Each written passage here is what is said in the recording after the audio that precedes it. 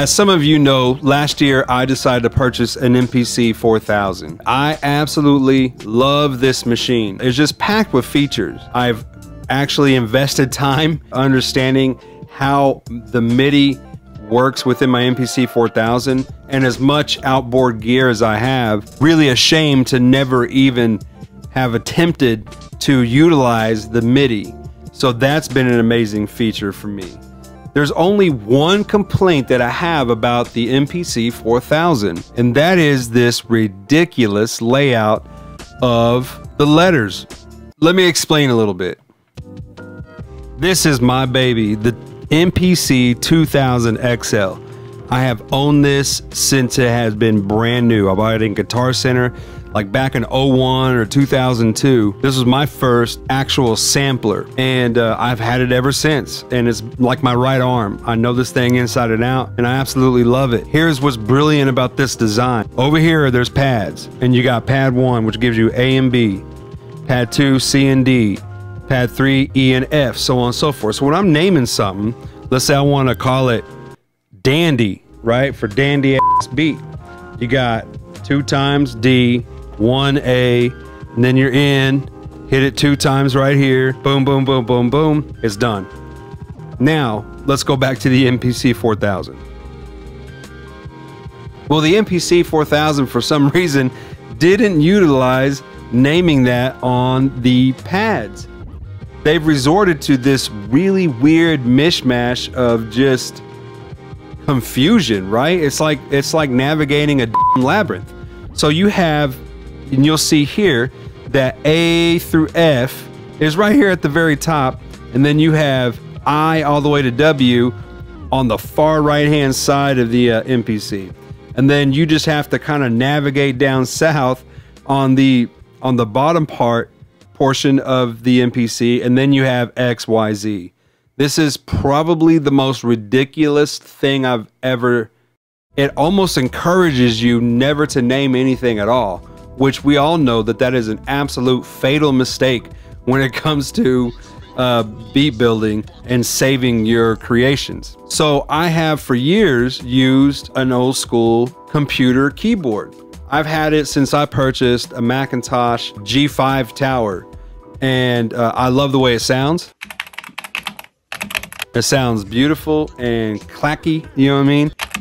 It's a nostalgic thing, I guess, for me. However, the size of it is just kind of inconvenient as to where I have my MPC laid out.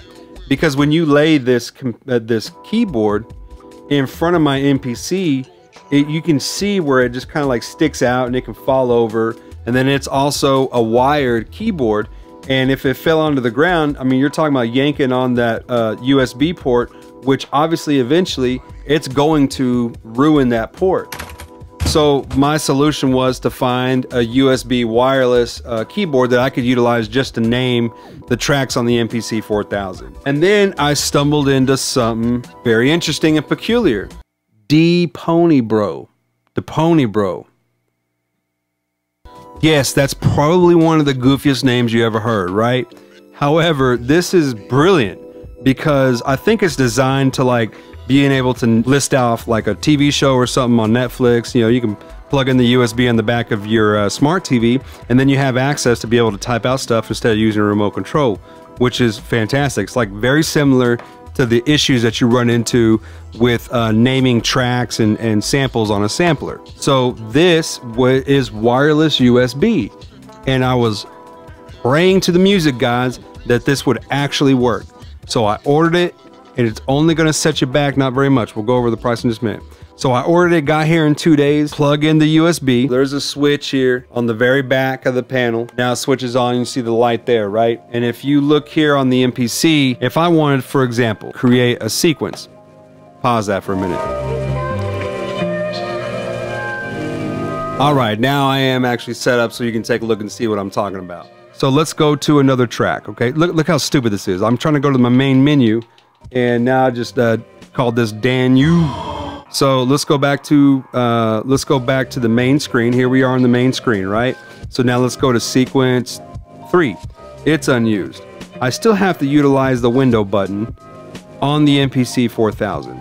Use my track wheel to engage it And now let's put this sucker to the test. We're gonna name this sequence, let's call it the GG Allen sequence. GG Allen. Let's call it GG All In. Look at that.